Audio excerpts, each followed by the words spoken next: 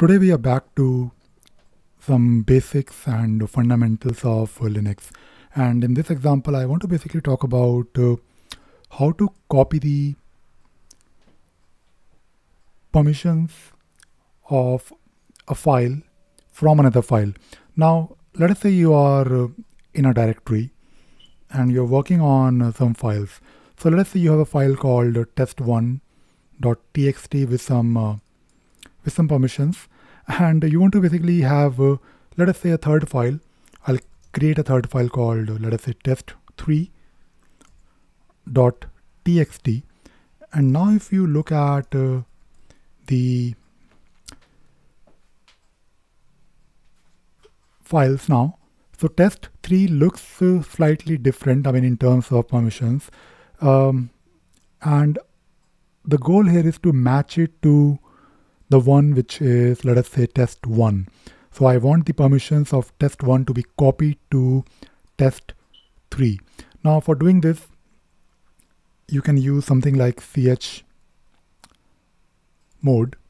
And uh, if you pass in this argument reference is equal to test1 dot txt and then if you specify the file which is test3 what this will do, this reference will do, it will take the permissions of test 1 and it will apply to test 3. So if you take a look at the files, now you should have exactly the same permissions. You can also do this, do the same thing for changing the ownership. So let us say you have, uh, let me first change the ownership of uh, test 3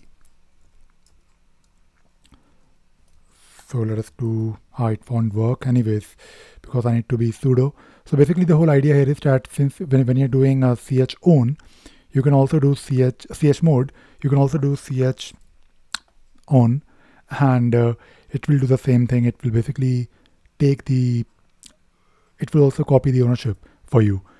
Right now of course it is same but uh, you get the idea. And this is something that I wanted to quickly show today and uh, share with everyone because this is a very small thing, but it can be really useful if you are doing Linux uh, administration. And if you are a developer these days, you cannot really avoid working on uh, Linux. Linux is like uh, the most fundamental skill that uh, you are expected to have. So this is all I wanted to share in this video. I hope you enjoyed watching this video and you learned something new today. Thank you very much.